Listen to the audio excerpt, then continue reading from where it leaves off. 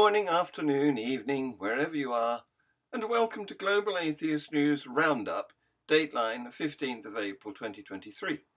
This week's headlines Israel blames Hamas for the Lebanon rocket barrage as tensions rise.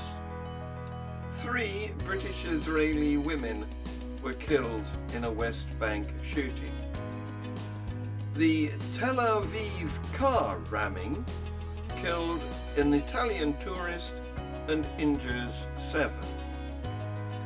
Some young men in Mexico are risking their lives to become Catholic priests.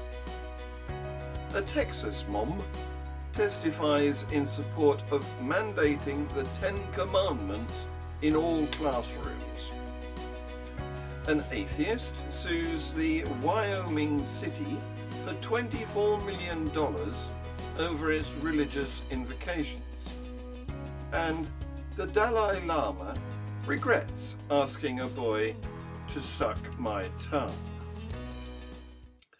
The Israeli military has accused the Palestinian militant group Hamas of firing dozens of rockets from southern Lebanon into northern Israel. It said most of the 34 rockets were intercepted, but that five hit Israeli territory, causing damage to buildings. One man was lightly wounded by shrapnel. Hamas said it had no information about who fired the missiles, and the attack was the biggest single barrage from Lebanon in 17 years.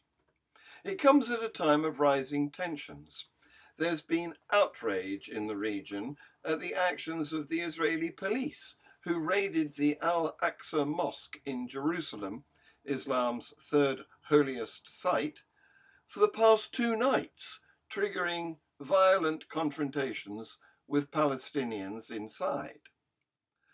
Palestinian militants in the Gaza Strip, which is controlled by Hamas, have also fired 25 rockets at Israel over the same period, and the Israeli military has carried out airstrikes there in response.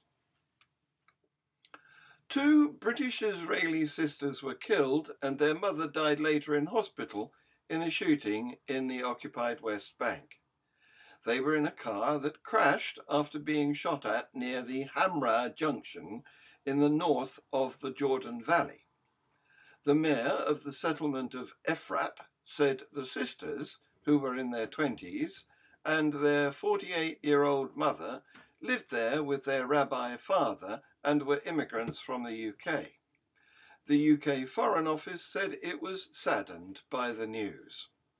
We are saddened to hear about the deaths of two British Israeli citizens and the serious injuries sustained by a third individual who has subsequently died. The Israeli military said its forces were blocking roads in the area and had started a pursuit of the terrorists. The shooting took place hours after Israeli warplanes carried out airstrikes in southern Lebanon and the Gaza Strip. An Italian tourist has been killed and seven, seven other people injured in a suspected car ramming attack near a beach in Tel Aviv, Israeli medics say. Italy's foreign minister said Israel had identified the man killed as an Italian citizen, Alessandro Parini, 36. A doctor told Israeli television the wounded included three British nationals and one other Italian. Footage from the scene showed an overturned car near a promenade and an Israeli police officer opening fire. Local police said the suspected attacker was shot dead by officers. Police have named him as Youssef Abu Jabba from Kafr Qasim, an Israeli Arab city.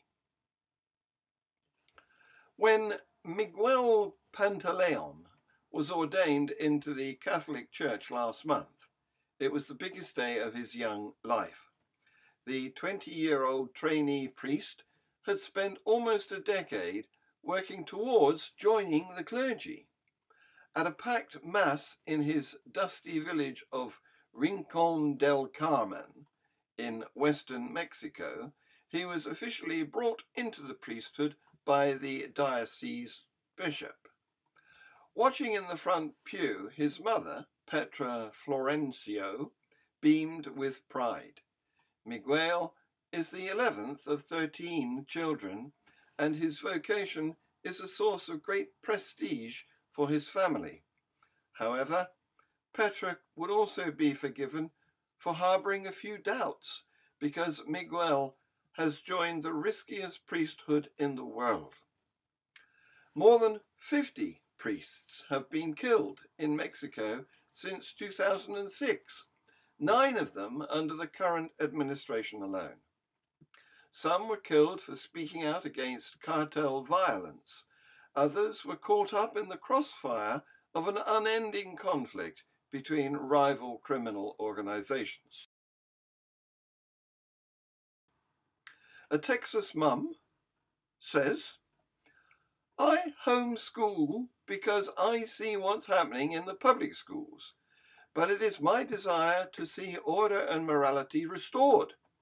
We must restore a biblical standard to our education system. See this video.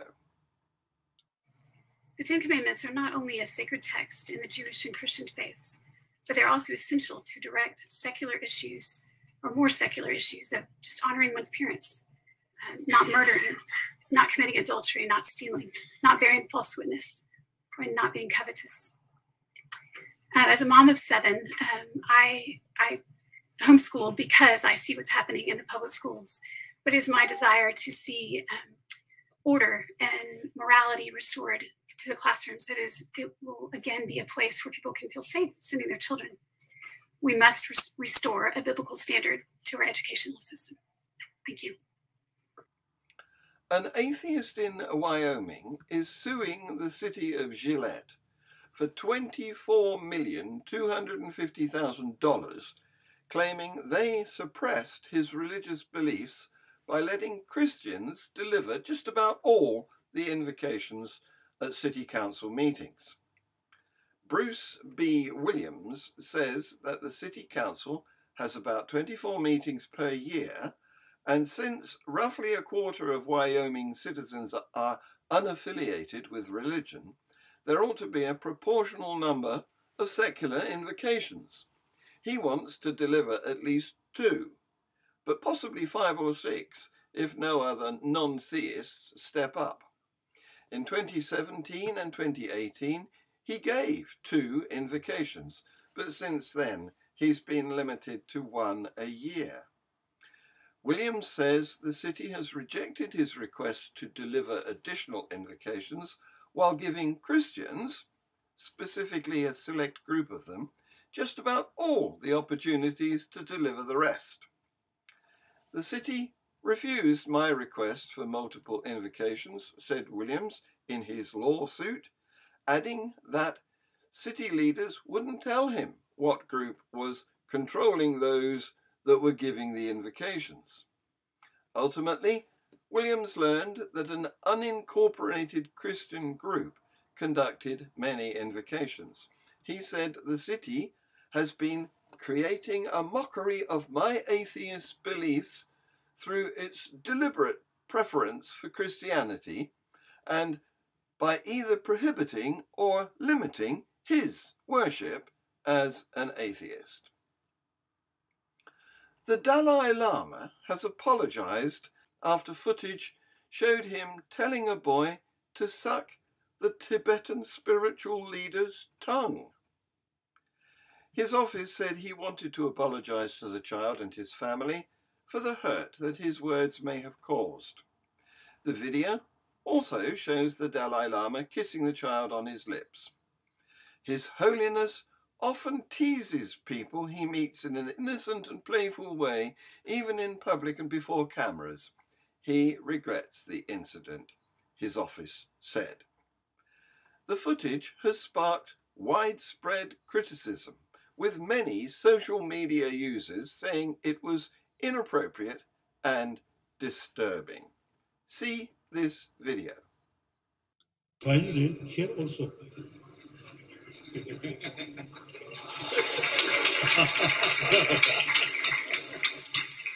and son, my tongue.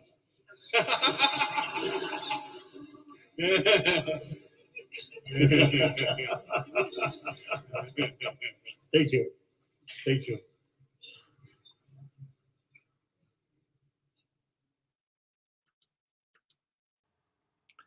This week's Free Thought Hour guest has had to postpone for medical reasons.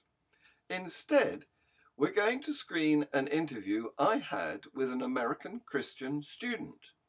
The backstory goes to November 2014 when I met Christian Jonathan McLatchie on Premier Christian Radio.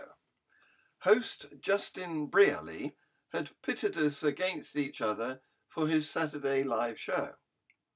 Jonathan was studying for a master's in biochemistry at the time, and since then he has obtained a PhD and currently lectures at a Christian university called Sattler College, which was recently set up near Boston. One of his students apparently expressed a wish to meet an alternative worldview, and Jonathan directed him to me. The student wishes to remain anonymous, so he is being played by actor D.P. Higgs. Tercia will host, and I will produce the show. Stay on this channel to find out what this is all about. And don't forget to watch Views on the News, our panel show about this very news. This has been Global Atheist News. The GAN team will be back next week. Thank you for watching. Thank you.